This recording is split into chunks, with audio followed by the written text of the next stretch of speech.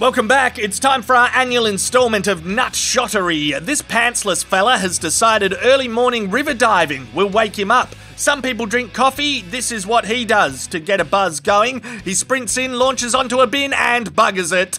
Crikey, he's hurt both his crack and sack with that one. If the water's cold, it's a good ice pack though. Let's play a game of who's gonna get the cricket ball in the bowls. The batsman deflects it, the bowler catches it, the batsman deflects it again. No! Right in the stumps. Middle wicket obliterated. Oh, fuck me. I'm not sure if I should be worried about the pogo stick or the fence. Oh, definitely the pogo stick. It's not the initial nut shot that's the worst thing here, it's the spring loaded double tap that's going to ruin his fertility. What is it with drunkards and jumping over things or onto things that they know could result in pain and a limited ability to use your dick in future? There's a car. He's up, he's down. Oh, I reckon that's another crack and sack combo. I mean, I don't want to check it, but I reckon it is. Just because it's daytime and you're outdoors, it doesn't mean your balls have intoxication immunity. Like, yeah, you, you might think you're light as a feather standing next to a mountain, but you're not. You're still an idiot, you're still drunk, you've still got a very vulnerable, soft, squishy sack. Let's go back to sober people. I think I'm in safe hands with this guy. Fuck, nah, sober people are dickheads too, confirmed.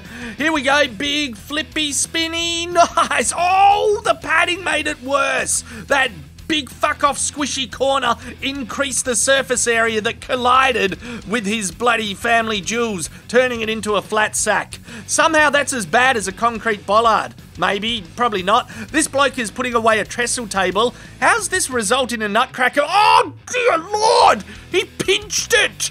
He pinched it! Fuck me to hell and back! This one makes me want to spew, because you can imagine the pain, that pinchy feeling on the tip of your penis glands or your foreskin, whatever you've got. Frosted Tips bloke is showing off to some Sheilas. Oh, speaking of tips, Winston Surf Shirt has a sore one. Gee whiz, he took that board right in the vas deferens. I love how the Sheilas don't give a toss. They're like, what just happened? A fiberglass vasectomy? No big deal. Ah, oh, look, it's Rochelle. Hey, Queen! What does this fella's sign say? Do I want to know? Two dollar nut shots. Bugger me. All right, let's let's keep a tally, shall we? Here we go. First up, oh, Sonic the Hedgehog is traumatized in the background. Oh, fuck me, bloody! What have we got? Six dollars. That's a pint of lager. That ten dollars. Um, at $12, that's an IPA, that's a session ale, it's a craft beer. Now we're getting into Scotch territory, $16. He's hurt though. He's, he must be dickless or running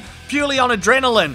Owie, wowie, wowie, wow. Look, he's outside the pub. $22, espresso martini, ter- fucking hell fucking. Oh, there's a jug of beer for the boys. Yep, he's hungry. 26. He can start getting some food. $30. He can get a pub lunch. He can get a chicken palmy. Oh, he's going for a steak sandwich. He's going for a bloody ribeye. Oh, $40. $42. What a big day at the office. That's not bad for an eight hour day. How much is that per hour? 42 divided by 8. Don't know if he took a lunch break. Let's not worry about that. Like 5 to $6 an hour. Not bad. Fade to black like your spermatozoa.